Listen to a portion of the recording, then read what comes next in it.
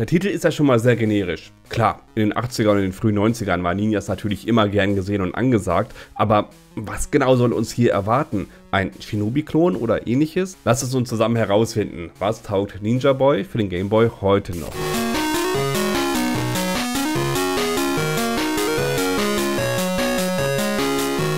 Das Spiel wurde von Culture Brain entwickelt und auch 1990 weltweit veröffentlicht. Es basiert auf dem Super Chinese Franchise, das vorher zwei Spiele auf dem NES hervorgebracht hatte. Ninja Boy ist im Kern ein Action-Adventure, das aus einer Art isometrischen Ansicht gespielt wird. Zu Beginn des Spiels übernimmt man die Kontrolle über den titelgebenden Ninja, der durch verschiedene Level rennt, springt und kämpft. Wie für so einen frühen Titel also eine normale Prämisse. Einfach ohne viel Schnickschnack. Die Steuerung ist einfach und präzise. Man kann springen, angreifen und spezielle Fähigkeiten einsetzen, die man im Laufe des Spiels erlangt. Darunter ist zum Beispiel ein Miracle Kick, den ihr beim Springen anwenden könnt. Die Kämpfe an sich sind recht knackig, wobei die gerne etwas deftiger sein könnten. Das Gefühl, einen Gegner wirklich getroffen zu haben, ist leider nicht immer da. Hier hätte man vielleicht auf der Soundebene oder so etwas etwas besser gestalten können. Ein zentrales Element von Ninja Boy ist das Upgrade-System. Während des Spiels sammelt man Münzen und andere Gegenstände, die als Währung für Upgrades dienen. Diese Upgrades verbessern dann die Fähigkeiten des Ninjas wie etwa stärkere Angriffe, höhere Sprünge oder eine bessere Verteidigung. Es gibt auch spezielle Power-Ups, die temporäre Vorteile bieten, wie Unverwundbarkeit oder stärkere Angriffe. Die Gegenstände bekommt ihr ganz einfach, indem ihr die verschiedenen Steinblöcke kaputt haut.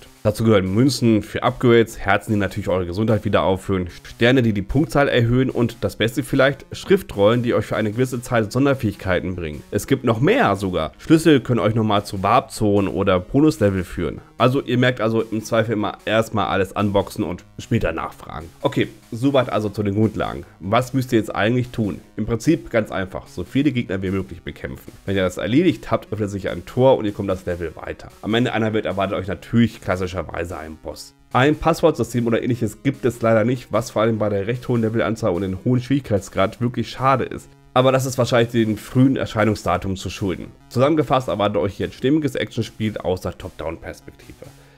Technisch gesehen ist Ninja Boy na, solide umgesetzt. Die Grafiken sind für die Game Boy Anfangszeit detailliert und die Animationen sind flüssig. Der Soundtrack ist eingängig und passt gut zum Ninja-Thema, wobei er keine großen Auszeichnungen gewinnen wird. Es fällt aber auch jetzt nicht wirklich negativ auf.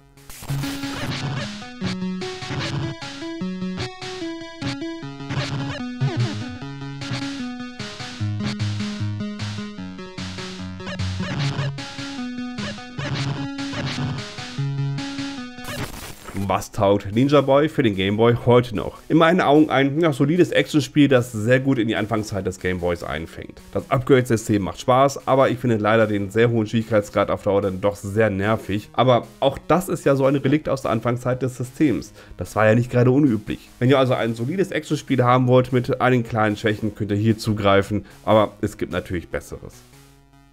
Das war Test zu Ninja Boy für den Game Boy. Wenn es euch gefallen hat, ihr fantastischen Menschen, dann wisst ihr, was zu tun ist. Und ansonsten sehen oder hören wir uns beim nächsten Mal. Macht's gut, ihr Lieben. Tschüss.